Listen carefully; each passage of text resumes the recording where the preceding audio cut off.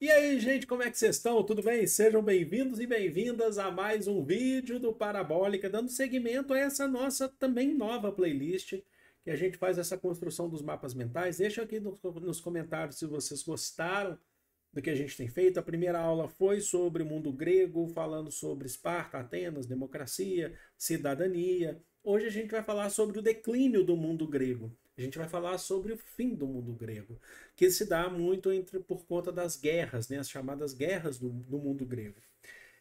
Então já se inscreve no canal porque a gente tem playlist atualizada de história do Brasil, de história geral, de filosofia, de sociologia. A gente tem geografia, tem história da arte, e tem agora essas novas novas essas no, novas playlists com construção de mapa mental, com conteúdo aqui para vocês. Lembrando que eu também disponibilizo, a gente disponibiliza o conteúdo para vocês aqui na descrição. É só clicar no link que tem aí na descrição, acho que é o primeiro link. Vocês já vão baixar o que, que a gente já está falando aqui, sobre esse conteúdo que a gente está abordando aqui em PDF. E aí você pode se basear para construir o seu mapa mental, ou você pode simplesmente utilizar ele. Tá bom?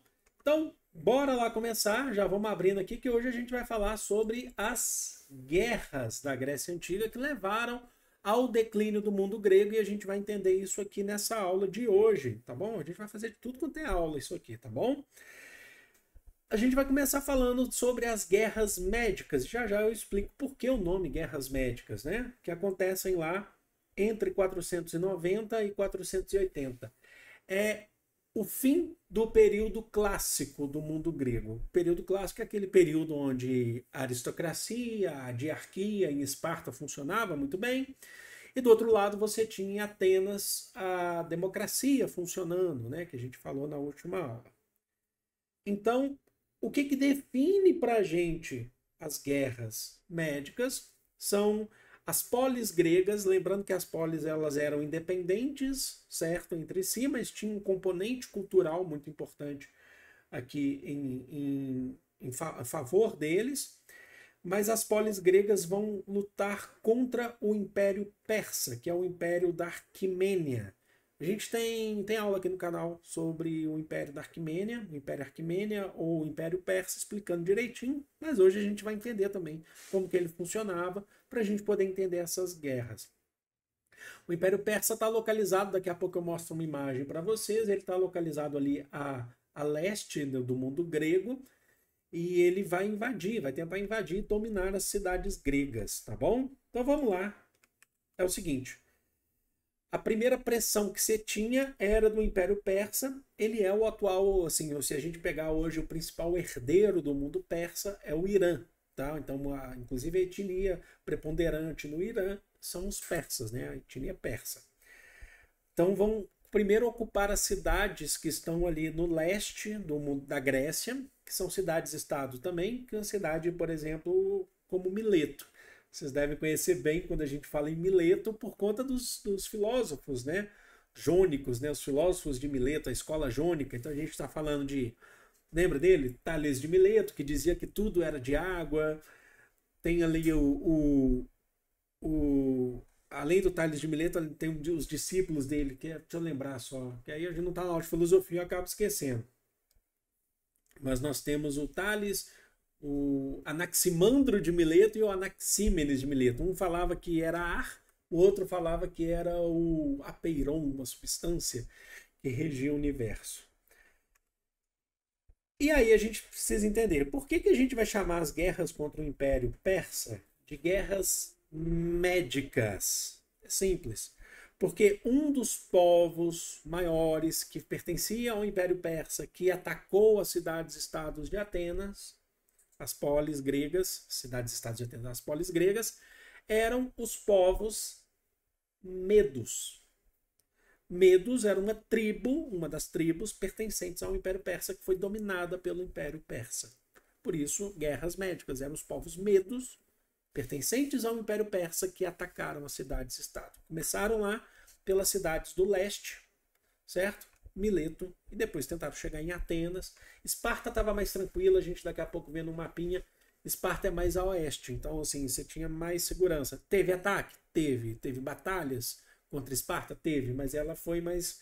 Ela tinha um fator geográfico a seu favor. Então Atenas sofreu até um pouco mais aqui, tá bom? E aí a gente começa a entender um pouquinho melhor esse Império Persa aqui. Vamos lá. O Império Persa era uma monarquia teocrática, significa que existe um componente religioso importante para dominar o Império Persa. E se trata de um império. O império significa que ele é unificado, ele é um grande uma extensão territorial, compondo várias cidades, vários povos, assim como os povos medos, que vão lutar contra cidades que são independentes, que vão ter que se unir contra o Império Persa. Certo? Então, como eu falei para vocês, o atual Irã, a capital, depois mudou a capital, mas a capital era Passárgada, certo? Vou-me embora para Passárgada e uma das formas de dominação que era importante para ter com que os povos aceitassem a dominação do Império Persa, mas isso vai ser fundamental, inclusive, para a derrota do Império Persa nas guerras médicas, porque os persas eles eram muito mais numerosos do que os gregos. Eles conseguiam atacar com muito mais pessoas. Só que esse vai ser um grande problema. Está aqui, ó. A tolerância eles permitiam uma certa tolerância cultural dos povos que dominavam e política. Eles mantinham o governo local, os povos medos, por exemplo, eles mantinham, dominar a Mesopotâmia, parte do Egito, eles mantinham o poder local, permitiam certa cultura, como assim, como condição para serem dominados e pagarem os tributos. Então era a forma que valorizou a forma de conquista dos povos do, dos persas. Só que por que que no conceito de guerra contra as cidades-estados gregas, isso foi fundamental para a derrota do Império Persa? Porque você não houve uma centralização do comando. Acabou sendo mais desorganizado. Apesar do número maior de soldados em todas as batalhas, vocês vão ver que os persas eles tinham um número grande de soldados. Isso, mas eles eram desorganizados porque você não tinha um comando central vindo lá do Império Persa, no Império Arquimênio. Compreenderam? Então, esse é um ponto importante, certo? E aí você tinha a divisão, né? Dentro dessas divisões, as denominadas satrapas, que eram as províncias dominadas pelo Império Persa, que eram ligadas a um sistema extremamente robusto de estradas, então eles tinham uma comunicação muito rápida, mas na guerra eles não conseguiram ter uma centralidade. Eu acho que é importante destacar isso. Deixa eu tomar uma aguinha aqui. E vamos lá. Então tá aqui para vocês. A gente tem aqui, ó, um mapinha para vocês verem o tamanho do domínio do Império Persa de Ciro, né? Toda essa parte desenhada aqui, organizada, desenhada aqui, a gente está falando dos domínios do Império Persa. Tudo isso aqui é muito grande. Sabe onde está a Grécia? Ó, o Império Persa está. Olha aqui, a Grécia está aqui, ó, marcando para vocês, ó. A Grécia está aqui. E olha o Império Persa. Primeiro ele chega a leste, dominando cidades que estão ali na atual Turquia, certo? Que eram cidades pertencentes ao mundo grego. Vamos lá, vamos dar seguimento aí. O que, que a gente vai ter? nesse contexto que é muito importante para lutar contra os persas e vencer os persas é a união, não tem outro jeito, das cidades-estado grega, uh, das cidades gregas nessa guerra. Então, a gente tem, aqui, ó, quero destacar aqui para vocês. Atenas, tá aqui na Ática, Esparta está aqui, na, na península do Peloponeso. O Império Persa, ele vem daqui. Bom, tá vendo o destaque aqui, ó? Aí eu tô aqui na frente, agora que eu tô vendo aqui, ó, peraí. O Império Persa, ele vem daqui, deixa eu tirar, peraí, eu vou me tirar só para vocês verem isso, tá? Uh, rapidinho. Olha só, o Império Persa vem daqui. Estão vendo? Eu sumi, mas vocês estão me vendo aí, ó. Ele vem dessa setinha aqui. Opa, voltamos, não tem importância. Mas aqui está Atenas, aqui está Esparta.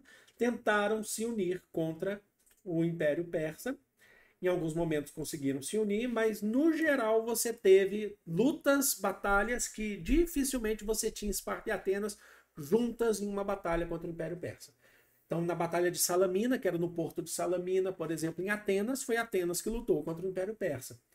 Na Batalha de Termópilas, utilizando o desfiladeiro de Termópilas, o Império Persa vinha lá com seus 60 mil soldados, enquanto Esparta tinha lá os sobraram os 300 de Esparta que utilizaram o, o, o corredor para fechar e conseguiram, muita gente morreu, mas conseguiram impedir o avanço maior do, do, dos persas. É, tem muito, tem muito fantasia em cima disso também, tá, gente? Também não é assim, ah, então quer dizer que foi um cara lá, o rei, pá. Não, também vai com calma, tá? Tem coisa que vai pro cinema. Alô, Escola de Frankfurt, que mostra essas questões heróicas. Mas, enfim, vocês entenderam? Houve um processo de união, inicialmente, então, contra o Império Persa, que por conta dessa descentralização do Império Persa, de uma ausência de comando, as cidades-estado gregas, as polis gregas, lideradas por Esparta e Atena, que, que eram muito bem militarizadas, sim. Não era só Esparta que era militarizada, Atenas tinha um exército muito forte, conseguiram barrar a entrada dos persas. E lembrando também que os persas, em maioria, eles tinham que vir por mar. E chegando por mar, eles tinham dificuldade de entrar em território porque eles eram o mar era fechado, era cercado. Os, os, os, principalmente os atenienses, que eram a ponta de lança ali, eles conseguiam atacar os navios persas. Beleza. Só que depois dessa guerra, derrotando o Império Persa, derrotou nessas batalhas, nessa guerra, mas o Império Persa continuou em pé. Os gregos, eles tinham medo que tempos depois, lá na frente, o Império Persa conseguisse se reerguer e atacasse novamente. Então eles agora precisam se organizar melhor para evitar novos ataques persas. Depois da, das guerras médicas, que os gregos definitivamente venceram, mas podem vir outras guerras contra os persas. E aí que os gregos, nesse embate entre se organizar para lutar contra o Império Persa, eles vão entrar em guerra entre eles, vão fazer guerra entre eles. E aí que a gente vai ter a famosa Guerra do Peloponeso. Por que Peloponeso? Porque boa parte dos conflitos acontecem na península do Peloponeso, que é onde está localizada Esparta.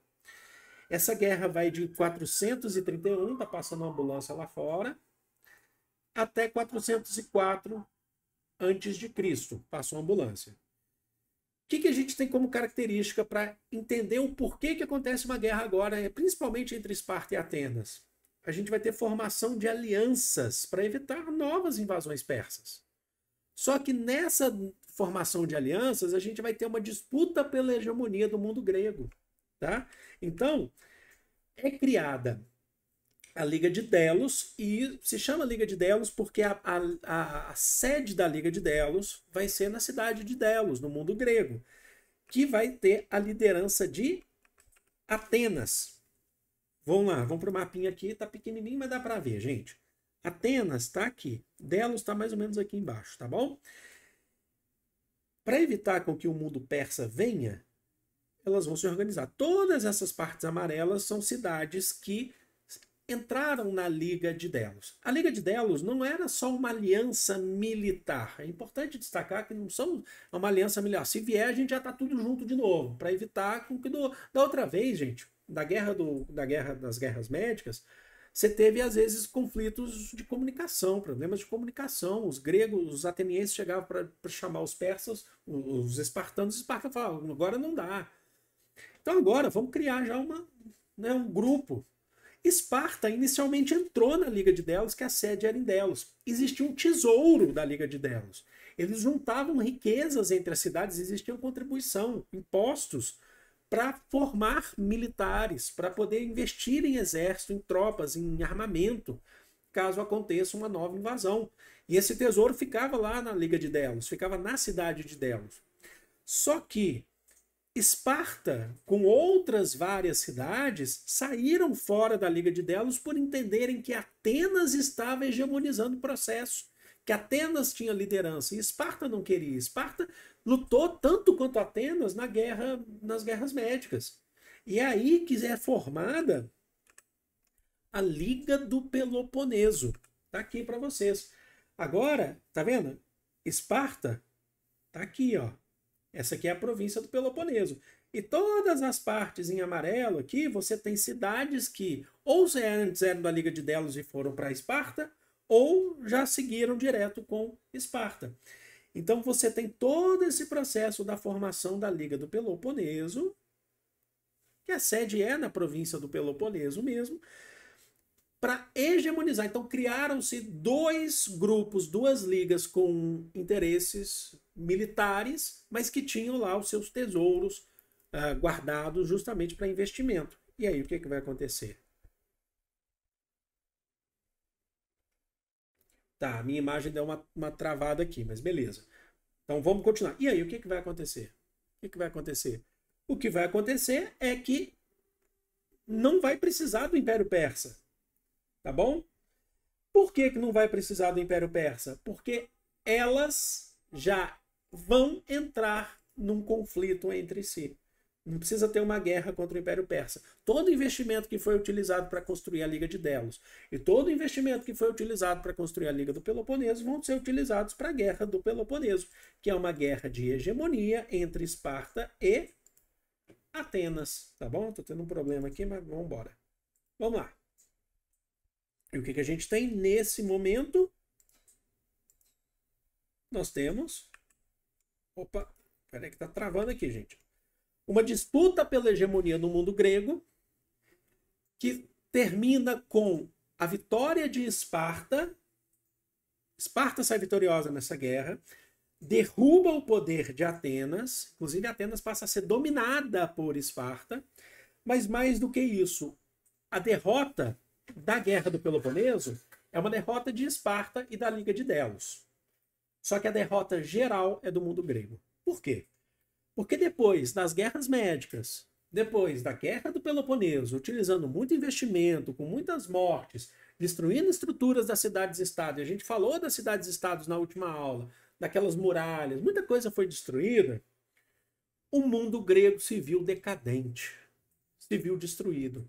O que favoreceu para que depois, vindo lá de cima, tá vendo esse mapinha aqui, ó, trabalhando com ele aqui, ó, lá de cima, chegue o Império Macedônico tinha um império. O mundo grego eram cidades-estados, mas eram cercadas por impérios. Do lado de cá você tinha o Império Persa, lá em cima, embaixo você tinha o Egito, lá em cima você tinha o Império Macedônico. O Império Macedônico chega e passa a dominar toda essa região através de Filipe II da Macedônia, depois Alexandre da Macedônia, Alexandre o Grande, né? E eles tinham uma relação com o mundo grego, eles também se sentiam fazendo parte da cultura grega, mas a diferença é que eles não eram pertencentes à estrutura das cidades-estados. Eles eram pertencentes a um império. O império, você sabe que já tem uma dominância maior. Então eles tiram as guerras, elas representam o declínio do mundo grego, porque retiram a autonomia do mundo grego, porque elas se, as cidades-estados se desgastam no, nos conflitos. E aí elas acabam sendo dominadas depois. Sabe, eu costumo chamar de urubu da história. O urubu que fica lá esperando a presa morrer para ela ir lá e comer os restos. Era isso. O Império Macedônico ficou só ali observando. Quando ela vê o desgaste desse mundo grego, depois de duas guerras violentas com várias batalhas, centenas de batalhas, o Império Macedônico chega e domina. Mas como eles também se sentiam fazendo parte do mundo grego, eles se sentiam, eles falavam, nós somos também helenos, né? eles não falavam gregos eles continuaram a propagar a cultura helena, a cultura grega, mas agora dentro de um império. Não tem mais sentido ter democracia em Atenas, porque a democracia era só de uma cidade. Atenas agora pertence ao Império Macedônico. Estava lá Aristóteles. Aristóteles nasceu no Império Macedônico, mas ele viveu em Atenas. Vocês verem que tinha essas relações. Não tem mais sentido ter aqueles dois reis em Esparta. Não tem mais. Eles são dominados agora pelo Império Macedônico, que dizia que também era herdeiro dos helenos, né, do herói, uh, do herói heleno. Então, eles falavam, não, a gente também é grego, tal, mas a, a nossa política é diferente. E por isso que agora entra um período que a gente chama de helenístico. Helenístico é algo parecido com o heleno. Não é o heleno como era no clássico, mas é o parecido. Eles passam a propagar essa cultura grega agora para onde eles dominam. Chega no Egito, a formação da cidade de Alexandria. Para quem olha Alexandria, fala assim: ah, Alexandria é no Egito, mas por que, tem esses pilares gregos? Porque é do período helenístico, entenderam? Foi criado lá por Alexandre o Grande da Macedônia. Então, entenderam por que, que as, as guerras são o caos, é, representam o fim da sociedade grega? Não da cultura, mas da, da autonomia das cidades-estados? Então, tá aí para vocês. Vamos voltar aqui para nossa imagem zona aqui. E foi um enorme prazer estar aqui com vocês. Lembrando que esse material ele fica aqui disponível para vocês no primeiro link da descrição. Certamente, então, nossa próxima aula aqui, fazendo esses mapas mentais aqui, construindo, fazendo essa aula, vai ser sobre helenismo, período helenístico. Fiquem tranquilos que a gente também vai fazer isso em filosofia, sociologia, geografia, história da arte, porque ajuda demais, né? Eu acho, pelo menos. Deixa aí nos comentários. Vou ficando por aqui, amo vocês coração. Um grande beijo. Fui!